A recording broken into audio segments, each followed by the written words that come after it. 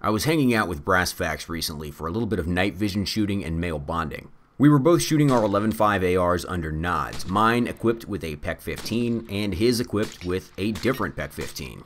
Mine is an L3 Harris ATPIAL PEQ 15, but Brass Brassfax has a DBAL A2, also known as the PEQ 15A.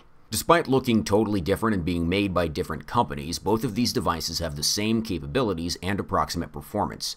They're both built to the military's requirements for the PEQ 15, and they both have NSN numbers, but the ATPIAL was much more widely fielded, and that ubiquity makes it the PEQ 15. This is a similar situation to the older PEQ 2. The laser commonly referred to as the PEQ 2 is the Insight TPI-AL, but there was another PEQ 2. The laser device is DBAL I. The TPI-AL and the DBAL I are both infrared-only units, an IR designator and an IR illuminator in separate emitters. Steiner still calls the DBAL i2 9007 the PEQ 2 on their website, even though it looks radically different from the old laser devices DBAL I and i2. Steiner, or Beretta Defense Technologies, or whatever they call themselves these days, recently discontinued the 9007, leaving a rectangle-shaped hole in my heart that cannot be filled. So what's the difference between the PEQ 2 and the PEQ 15, aside from the obvious answer of 13 PEQs? The PEQ 15s have the same paired IR capabilities as the PEQ 2, with the addition of a visible laser slaved to the IR designator for easy daytime zeroing. The devices have the same capabilities as each other, but are very different otherwise. The ATPIAL has a much larger body compared to the DBAL A2, but it's made of plastic and full of air inside, so they end up weighing almost exactly the same. All DBALs use a quick release lever mount, whereas the ATPIAL has a thumb screw, which allows it to sit lower on the rail. However, the size of the ATPIAL means it still intrudes into the sight picture just as much as a DBAL.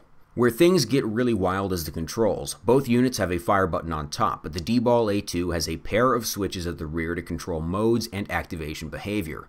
The left switch controls how the unit is activated, momentary or constant on for high or low power. The right switch controls which emitters are active, visible, IR illuminator only, IR illuminator and designator, or IR designator only. The ATPIAL has a single switch on the top of the body which frees up the back of the unit for the battery compartment. It's much easier to change the battery on an ATPIAL than any of the DBALs with their front-loading battery crammed between two laser emitters.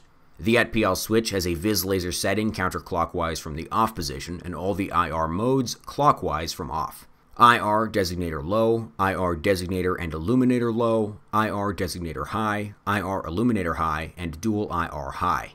The ATPIAL also has a programming setting which allows you to reduce the pulse rate of the laser. On the one hand, I prefer the simplicity of the ATPIAL's controls, however the A2 does let you do some cool stuff.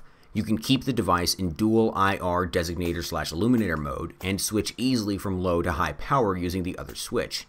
Every time I use the ATPIAL, I somehow manage to lose track of where the dual low mode is. The sort of arbitrary decision to omit an illuminator only low mode reduces the number of clicks on the switch, but also makes it hard to remember where everything is. Both of these examples are full power units, but the exact power level of the ATPIAL has changed a little over the years. On dual IR high mode, these two are virtually indistinguishable. Very powerful, you love to see it. For some reason, the low mode of this particular A2 looks totally jacked up. It creates a dim diagonal slice of illumination with blank areas around it. I'm not sure if that's because it's really old or if something is screwed up with it.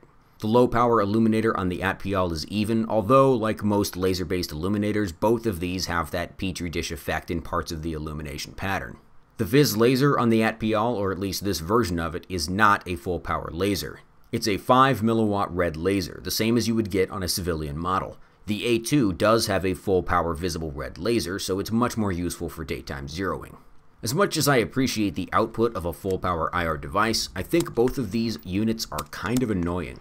The DBAL A2 has been supplanted by the updated DBAL A3, which drops the dual switch layout and adds a visible override port to the back. I have no use for the visible override function. I still prefer the form factor of the DBALs to the ATPIAL. The bloated plastic shell of the ATPIAL takes up so much goddamn room on a rail. It's also created an entire cottage industry of aftermarket products to try to cram accessories as close to the ATPIAL as possible. It's all kind of a moot point since it's so hard to get full powered lasers in the first place. You basically take what you can get. If I could buy some kind of hypothetical full power version of the DBAL i2 that didn't fall apart at the slightest provocation and was backed up by the customer service and quality control of a company other than Steiner, that would be great. but I can't. Alright, see you next time. Ain't over. Hi, how are you?